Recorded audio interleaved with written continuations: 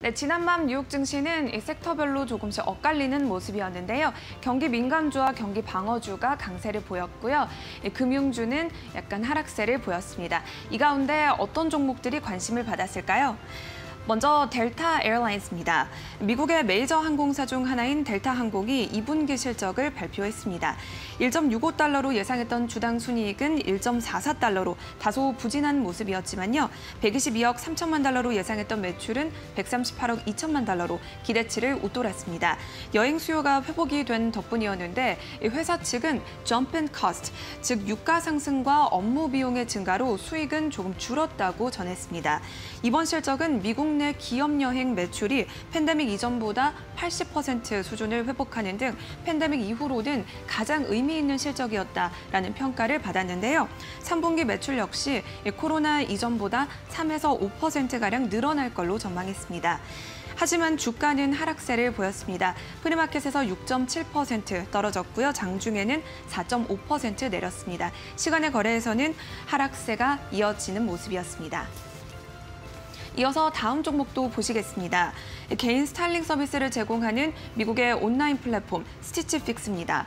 벤처 캐피털 회사인 Benchmark Capital의 총괄 파트너 빌 걸리가 Stitch Fix의 주식을 100만 주 사들였습니다. 평균 단가는 주당 5.43달러였는데요. Stitch Fix의 이사회 구성원이기도 한 빌 걸리는 이전에도 122만 주를 사들인 바 있습니다. 최근에 Stitch Fix는 고객 이탈로 조금 어려움을 겪고 있는 상황 인데요. 분석가들은 이렇게 대량 매수 소식에도 불구하고 Stitch Fix의 근본적인 가치가 변한 것은 아니라면서 약간의 우려를 표하기도 했습니다. 그러나 빌 걸리가 100만 주를 추가하면서 Stitch Fix의 주가는 크게 올랐습니다. pre-market에서 9.3% 오른 Stitch Fix는 장중에 또다시 13.6% 상승했습니다. 시간외 거래에서는 1.5%가량 떨어지는 모습입니다. 마지막으로 살펴볼 종목은 Unity Software입니다. 비디오 게임 소프트웨어를 개발하는 회사인데요. 글로벌 소프트웨어 기업인 아이언소스와의 합병 소식을 전했습니다. 약 44억 달러에 달하는 거래가 될 것으로 보이는데요. 아이언 소식, 아, 아이언소스의 주식 10주가 Unity Software 주식 한 주로 교체가 되는 셈입니다. 이 소식에 두 회사의 희비는 좀 엇갈리는 모습이었습니다.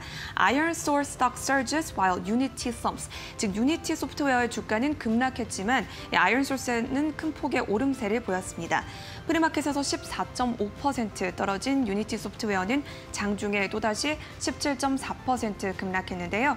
반면 아이언소스의 주가는 장중 47% 넘게 오르는 등 이 소식은 큰 호재로 작용했습니다. 시간외 거래에서는 두 종목 모두 소폭 하락하는 모습입니다.